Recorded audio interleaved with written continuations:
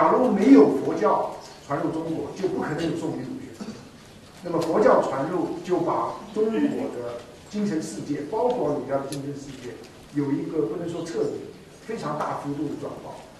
那么同时，儒家文化也把佛教文化融汇到儒家文化、儒家文化里。所以你刚刚讲的那个修身养性的一些基本价值，是可以来自佛教。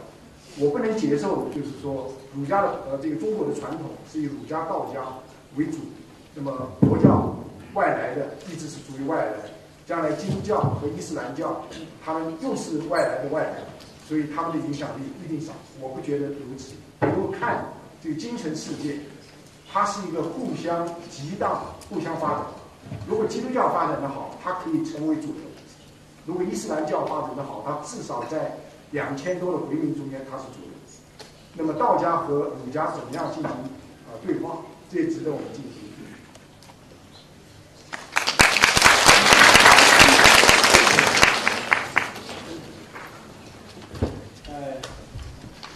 请介绍一下。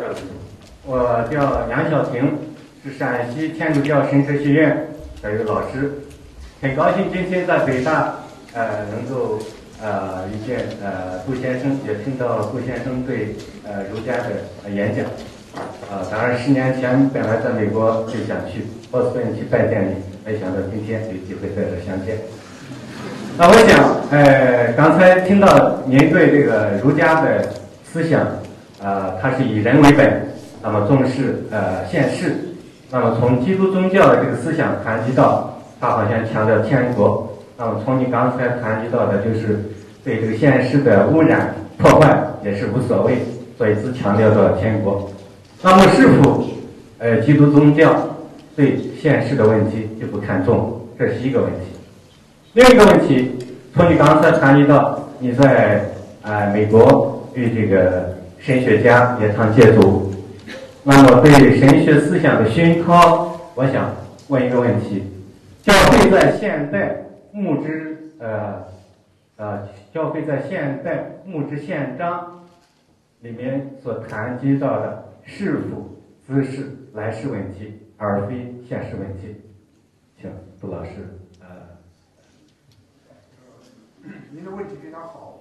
其实您前面讲的可能对我有点误会。我的意思是说，假如基督教还坚持未来的天国。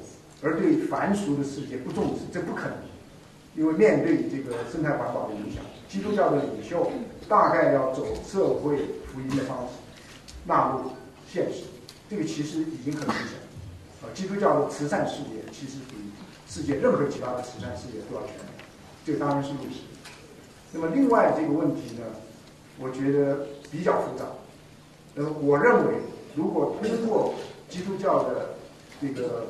影响，您刚刚提到，当然是现实性非常强。面对了人类所碰到的大问题，做出回应。比如在美国讲的 public intellectual，就是公共知识分子。从杜威以后，哲学上面的公共知识分子不多，但是基督教，比如说是 Richard Niebuhr，啊，或者是在，当然是犹太教，但是也有很大的影响，像马马丁·波格这些人物，成为真正的这个公共知识分子。啊，我的同事像罗伦·卡夫曼，啊，虽然他是代表基督教上面非常极端的观点，但是他也在社会上有极大的影响。